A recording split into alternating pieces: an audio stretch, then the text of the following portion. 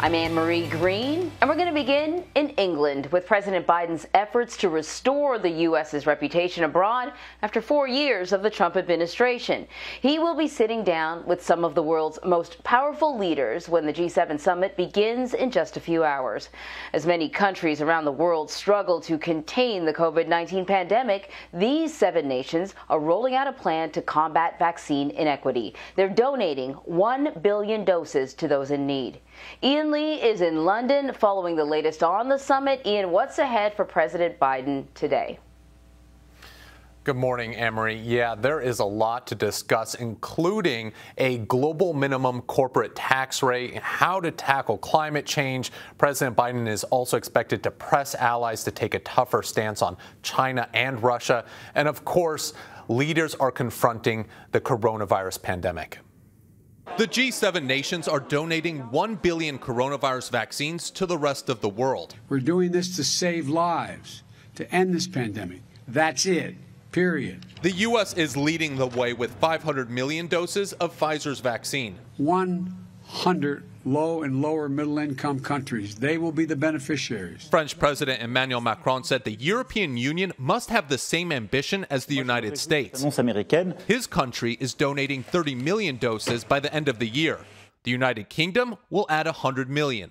The seven wealthy nations are expected to outline their commitments later today as the summit officially begins. Everybody's absolutely thrilled to see you. President Biden received a warm welcome from British Prime Minister Boris Johnson on Thursday. There's so much that they want to do together with us, uh, from security, NATO, uh, to to climate change, and uh, it's it's it's fantastic. It's a breath of fresh air. As the Biden administration looks to reestablish America's role as a global leader, First Lady Jill Biden wore this message on her jacket. Well, I think that we're bringing love from America. I think that's important right now that people have feel a sense of unity from for all the countries and feel a sense of hope after this year of the pandemic. The First Lady said she and her husband are looking forward to meeting Queen Elizabeth on Sunday and insists President Biden is overprepared for his meeting with Russian President Vladimir Putin next week.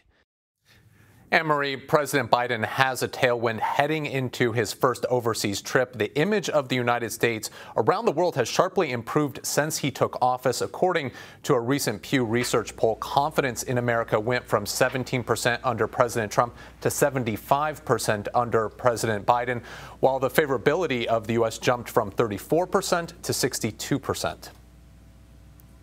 Yeah, that is quite a boost. Um, G7 leaders are also expected to announce support for a new tax plan. Tell us about that.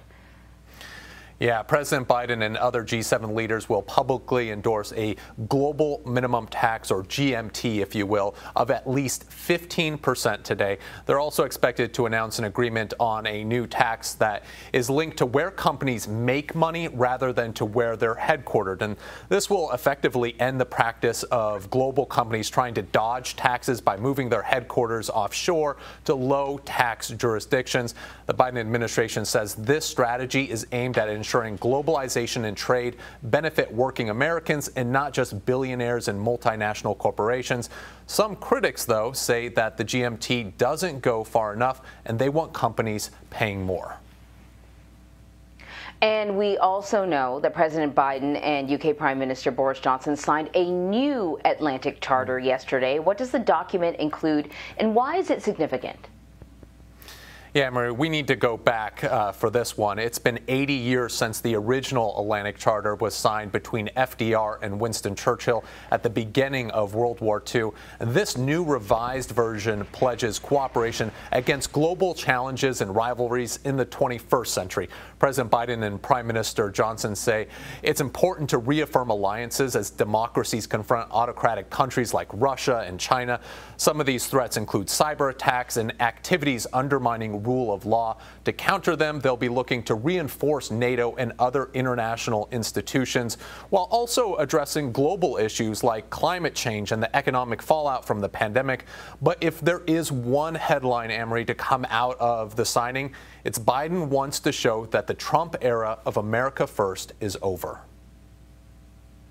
Indeed. Ian Lee, thank you very much.